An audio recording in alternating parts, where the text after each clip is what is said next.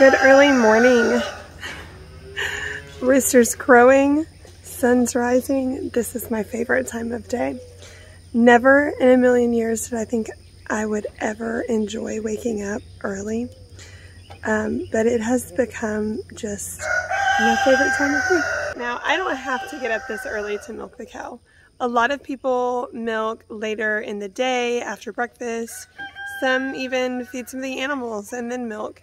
Um, but I have just discovered that this works best for us, especially during school, to be able to get up and have the cows milked before the kids are up. And this time of year, it's the only time of day that it's not a million degrees outside here in Texas. So I get up and I brew my coffee and I come out and I milk while the sun is rising and it's just the best. It's everything um, that I could dream of farm life being. I actually have my cows way back behind my house right now because we're working on rotational grazing, which I will tell you about uh, but I actually have to go get one of them, so I'll be right back. So, I've got my bestie girl in the stanchion. I'm gonna clean up her udders and get some milk in her first. So, rotational grazing. We are working on getting our animals all rotationally grazing. We actually um, my husband just got a bonus check from work and we used part of it to get some more Premier One um, fencing. Now, he's actually hasn't ordered it yet. He's going to call and talk to them because we want to know if we can run more than one netting off of one charger because I seem to recall you can. They're made to go together, like they have connectors. So we're hoping to run two off of one charger because it would be significantly cheaper to just buy one charger. Um, but we also are going to run them right next to each other anyway. So the goal is to have our sheep and sheep and goats um, running side by side, boys, girls, and then in the netting, and then use our like single wire it's like multiple strands, but one wire, it's not a netting, um, to go around the cows and get everybody rotating on the back of our property. So uh, we have a little over 10 acres, like 10.26 or something like that. And we really only have been utilizing the front probably third um, now there is a lot of like kind of forest and overgrown areas in the back, but that's perfect for sheep and goats, especially goats. Um, there's this one place where it's just like a grove of poison ivy, so the goats are gonna love that. Um, our end goal, what we really want to do is have the whole property done with field fence so that we can have a couple of our Great Pyrenees like just patrolling the whole property. But because of the nature of Great Pyrenees to want to roam, oh, hello, I have a little honeybee. He might fly in front of the camera. He's checking it out. Um, I should say she. Most honeybees are girls. Oh, here it is. Hello, little friend. Um, anyway. So, why rotational grazing? So we've known rotational grazing for a long time. We've been watching Justin Rhodes a long time and Joel Salatin. Um, rotational grazing is good for your fields. We've learned that. We've heard that for a couple years now. We just haven't had the infrastructure to do it. Um, this spring we started with our one, we, we do have one fence that is a Gallagher fence um, that is on a reel and you roll it up, um, which is really convenient except for when it breaks and you have to tie it back together and then it won't roll into the thing. Um, so it has gotten to where it's really difficult to move, um, but it is because the wire was broken at one point.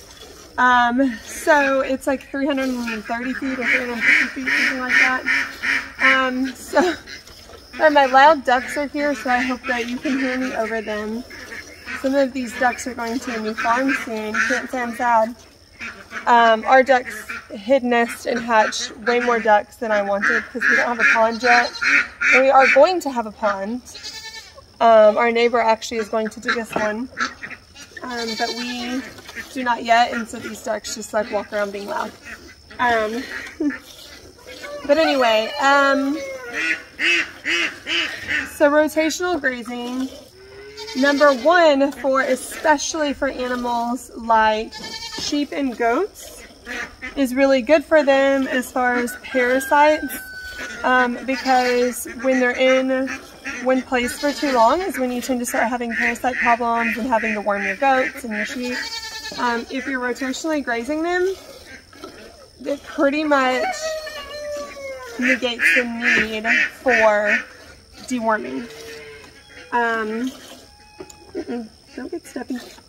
So, that's part of the reason. Another part of the reason is to clear underbrush um, for goats, especially sheep do some, but goats, I mean, goats will eat anything they can reach, except for like this pokeweed that grows in the fields. No one will eat that. And then there's another one called goatweed that oddly enough the goats won't eat. But anyway, um, so those are two reasons. But the main reason that I am feeling such an urgency um, to start rotational grazing is soil health. Now, I'm sure that many of you know, if you're not in Texas, even have probably know this, but Texas, at least the part of Texas I'm in, probably most of Texas, is in a pretty significant drought. Um, I couldn't tell you right now how many days it's been since we had rain of any significance. Um, like we have a 24% chance of rain on Saturday and I'm just like, please, please, please, please. Um, because it's so dry. Everything is turning brown. I mean, you can see the grass behind me. It's not green. Um, maybe a little bit green, but this is also the area where it gets water because we rinse out um, water bowls here and whatnot. So we actually spray water here in rinsing things out. So we really need some rain. Um, so in that, we're having to buy hay, and we normally do not buy hay in June, in July, but there's nothing left in the pastures for them to eat. Um, there's a hay shortage because we are obviously not the only people having this problem. Um, we went to get hay recently and all they had was this giant block of alfalfa that um, it actually filled up our whole little trailer, but it cost a fortune. um, so we, we need to move them to where there's more things to eat. Even though those things to eat are probably going to be fairly dry, they're still eating it. Um, but the thing with soil health if you are building your soil, if you have healthy soil, it is more drought resistant because it soaks in the water that it does get. So right now, um, when I've been moving portable fences and such, I've been taking a bucket of water to try to pour where I'm pulling up a T-post or putting in a T-post to attempt to soften the ground. And it doesn't soak in, it just like runs off. It, it really um, we've really had a hard time with it. Our water just doesn't soak in because our soil is not healthy. Um, and so we're, we're trying to work on that. So by rotationally grazing them, you leave living roots in the ground, whereas, whereas if they are in the same place for too long, they'll eat it all down to little nubs and it has a hard time growing back and is not alive.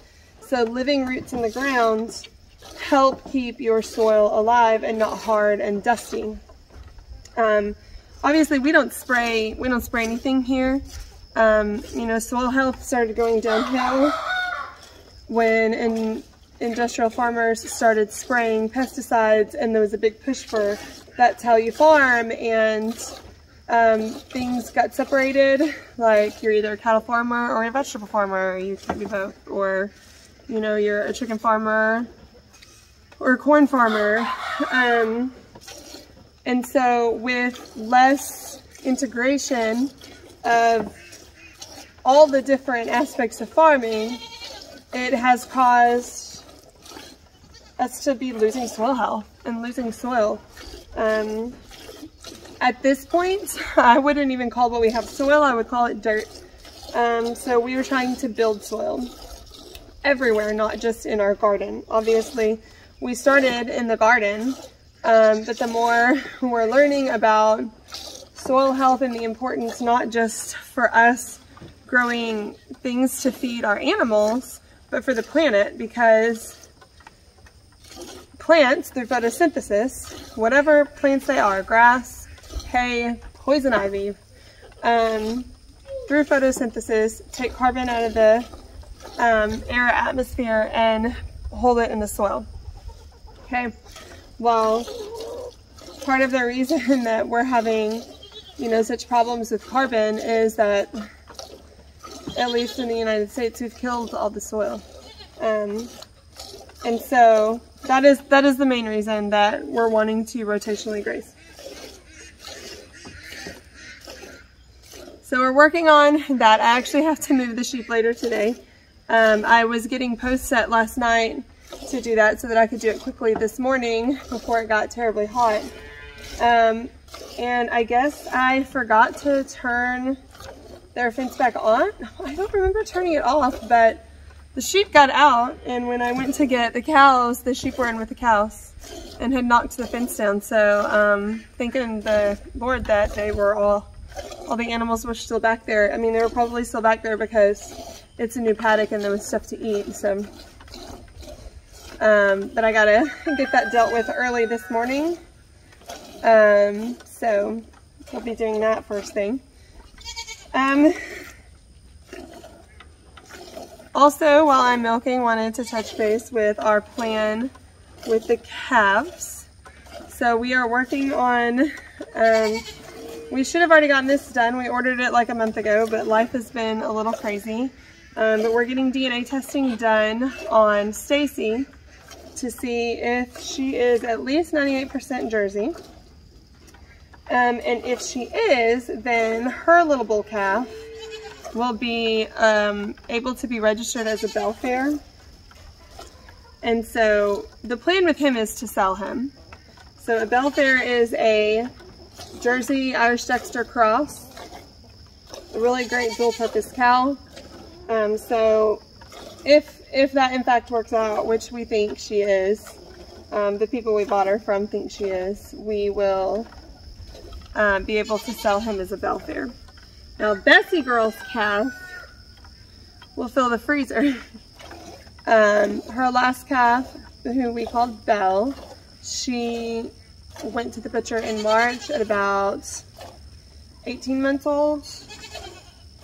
And we got our, for our, blah, and we filled our freezers really well. So hopefully that will last us until um, oh, I don't know if it'll last us a year and a half. There's eight of us. I mean, the ground beef won't. but maybe the roast and steak and stuff will. We'll see. Um, we do eat a lot of venison in the during hunting season and right after. Um, because Thomas will usually go hunt and get at least a deer. And then we have sweet friends who love to hunt but don't have um, kids at home anymore and don't go through as much meat that, that give us meat. So we usually kind of will mix those interchangeably, ground beef and ground venison. On my docket today, after um, after moving the sheep, I am going to be making some mozzarella. Oh, I spilled milk on myself. All right, so Bessie here is about done. And I'm gonna go get Stacy. Once I get her milked, I'll go in, deal with the milk, and then come back out and deal with the sheep. now I have Miss Stacy here. Stacy is our newer cow. She does not give as much milk as Bessie. This is her first time to calf though. So I don't know, maybe it'll get better with time. Um, but her bag is, let me show you. See, she doesn't even, you know, Bessie like hangs down to like here. So she, her bag is much smaller. So hopefully that'll get better with time, but she still gives us good milk. Um, calf sharing, I get maybe a gallon a day, probably slightly less actually. Um, but we happen to know she is A2A2, the farm that we bought her from, just testing for that. So we thought that was kind of exciting. Um, none of us have a problem with beta casein, um, but it's good to know. And so we actually, I mean, okay, let me say, I don't know. I don't know if any of us have a problem with that. Ada might actually. So Bessie, we don't know. And we actually, that is one of the testing that we're gonna do when we send off all this testing um, to UC Davis is we're getting Bessie tested to see, and I'll be really curious because Ada, our 13 year old daughter, has for a long time had tummy troubles and had gotten a stomach ache when she has eaten dairy. So we have pizza and movie night every Friday. Every Friday she would get a stomach ache. Well then we moved out here and got a cow and started having raw milk and the problem went away. Um, now she's not a huge milk drinker. She'll use yogurt in smoothies. Um, so it's mainly cheese for her that she eats and ice cream. Um, but now when we have pizza and movie night, as long as it's mozzarella I've made with our milk, she doesn't have a problem. If we've had a crazy day, like when I make pizza, I start at four o'clock because I do the crust, I do the sauce, I do the cheese. Like it takes, it's time consuming, but it's so worth it. It's delicious. Um, but if we've had a busy day, I've had an appointment or whatever, and I have to buy take a big pizza instead, she gets a stomach ache. So, you know, there's something about it. I don't know if it's raw versus pasteurized. It very well could be, but now that I think about it, maybe Bessie's A2A2 as well, and that helped Ada. Stacy. She flicks me with her tail way more than Bessie does. so, um, there are a lot of diets out there, like elimination. There's so many food elimination diets now because everybody has problems with, oh, this food is inflammatory or this food's inflammatory. And You'll never make me believe that raw dairy products are bad for you. Um, that and, and I don't think all bread is bad for you, and I'll tell you about that in a minute, but um, I am trying, my goal is to only have dairy products that I make from our raw milk. So the thing with dairy is Obviously, grocery stores do not sell raw milk. Raw milk is very expensive to get. Um, I mean, I know people drive an hour to pay $12 a gallon for raw milk. And that's here in Texas. Like, there are other places where it may be even more than that. Um, now, I know Full Quiver in Kemp, Texas, I believe sells it for $7 a gallon. Um, but you have to drive out there. Well, they do have some sort of delivery service now. Um, because their licensing allows it, but I cannot sell raw milk for human consumption. It is illegal. Um, but quite frankly, we use it all anyway. Um, and what we don't drink, we use to fatten up pigs when we have feeder pigs. Um, it makes for really good meat. But anyway, um, when you buy dairy products at the grocery store, they have gone through homogenization and pasteurization. Um, pasteurizing, which I just read this, I'm reading um, Joel Salatin's Everything I Want to Do is Illegal, and it's talking about why we started pasteurizing milk as a country. Oh, hold on, Stace.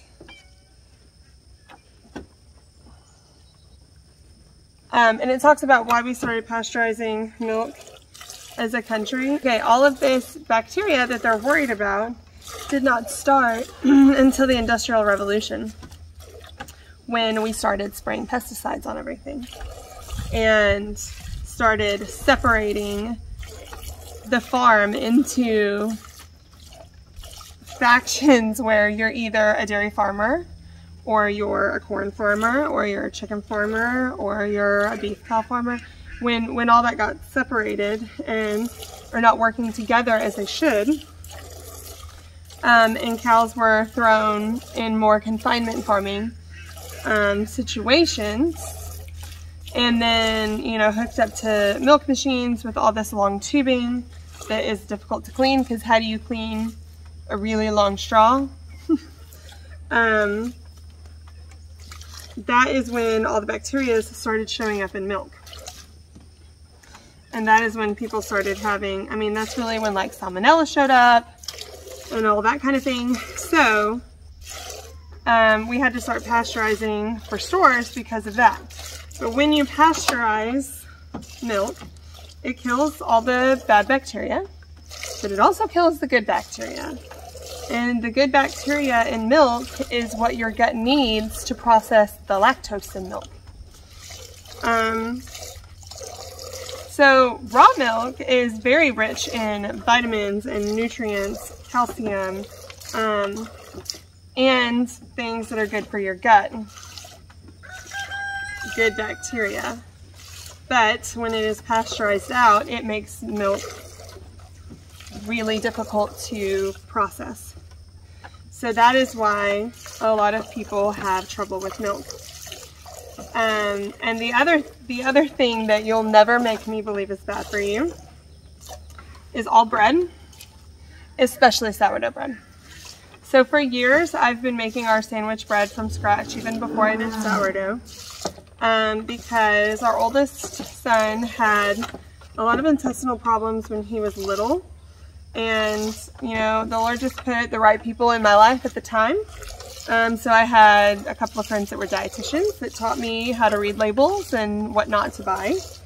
Um, the, the short version of that is the more ingredients and especially the more ingredients that you can't pronounce, you shouldn't buy it. Um, also anything that says enriched bleached or really enriched. Um, so I started making bread from scratch. I actually um, also had uh, a friend at church at the time that taught bread making classes. She actually um, is the one that made my mug here. They have a bed and breakfast in Alaska now. It's called, well, the, I don't know what the bed and breakfast is called. I'll have to look it up. But her mugs are Mustard Mountain. And they're so pretty, and I will try to put a link in the description. Anyway, she taught me how to make bread. Okay, and I use really good non-GMO wheat that I order. I use flaxseed in it and oats in it. Um, it's high in fiber. I don't use sugar, I use honey. Um, so it's drastically better than their grocery store bread when even if you read the packages for whole wheat bread, like there's high fructose corn syrup in some of it. Like what do you need that for? anyway, so that bread, I believe is way better for you. Um, but then it still does have um, some dough conditioner in it and it has um, yeast that you buy in the little packets. I mean, I buy it in a ginormous packet because I make a lot of bread um, which is fine for most people, okay? But there are some people who cannot have gluten products, okay? So, you know, I didn't start hearing about gluten intolerance until I was an adult, and I think that it's become way more common now. Um, and I recently saw this thing about how people who in the United States are gluten intolerant and lactose intolerant go to Europe and eat all the cheesy pasta they want and don't get sick. Um, and that's crazy. Um, but a lot of it has to do with the fact that other countries regulate their food way better than we do in the United States. There are a lot of foods that are legal here that are not in other countries. I mean common foods like um, different sodas and chips and whatnot. Uh, I actually saw a list recently and was like really shocked at some of the stuff that is so commonplace here and is illegal in other countries because it is so bad for you. Um, but I did hear that our FDA is is possibly changing on some of that. So we'll see. I don't know how they're going to do it though because these are big companies. Um, it's going to be interesting if it actually happens. Even if you are gluten intolerant, a lot of people that are gluten intolerant can eat sourdough products because of the nature of sourdough. And when I say like, oh, you'll never make me believe all bread is bad for you, because Jesus ate bread, and so I feel like I can too. Well, Jesus didn't go buy, Jesus' mama didn't go buy yeast at the store. They did, everything they made was sourdough. It was a active yeast starter, um, which is, you know, we call sourdough now. You can make so many different things with sourdough. Because of the nature of how sourdough works, it actually breaks down the gluten in the bread. So, whereas you can't call it gluten-free because it has wheat in it, um, the gluten is broken down so that you can digest it better. Um, so this is how we used to make bread. That, this is how bread used to be made. Uh, so that's, in my opinion, why gluten intolerance is such a thing now. Um, whereas, you know, 100 years ago it wasn't, because 100 years ago we made bread a lot differently. So, you'll never make me believe that sourdough is bad for. Sourdough has, is really good for your gut. Sourdough is really good for your gut um, because of the fermentation process that it goes through. And you can make so much with sourdough, right? So I make our normal sourdough loaves, um, but you can also make a sourdough sandwich bread that doesn't have quite that sourdoughy taste because some people don't like that. I think it's amazing, um, but some people don't like that. And you can make, actually right now I have some dough rising to make tortillas because Ada wants to make, Ada loves to cook and she wanted to make these fancy tacos tonight. And she wanted homemade tortillas. And normally we get homemade tortillas from my neighbor Perla because she makes the best tortillas. but she's been a little overwhelmed with tortilla making lately because everybody wants her tortillas and they're getting ready to go out of town so I didn't want to ask her for any. And I've been really wanting to try these sourdough ones too. So we'll try that tonight. We can make sourdough pancakes sourdough waffles. Last week I made sourdough buttermilk biscuits. Um, there's so many options. And it's much easier to process and has stuff that's good for your gut so I'm very excited about that and the other thing that I'm going to do today is when I make mozzarella, I'm going to try pouring it into a soap mold. So I make goat milk soap, so I have these rectangular soap molds. While it's still hot, I'm going to try to put it into the soap mold to see if I can get it to harden like a block so that I can slice it for cheese for sandwiches. Um, because I love a grilled cheese with jalapenos on sourdough. Oh my gosh. But because I'm trying to not eat cheese from the store, I need the sandwich cheese. So we'll see how that goes and maybe I'll make a video about that too. But about to finish up here and take Miss Stacy back to her baby. Should we go see baby?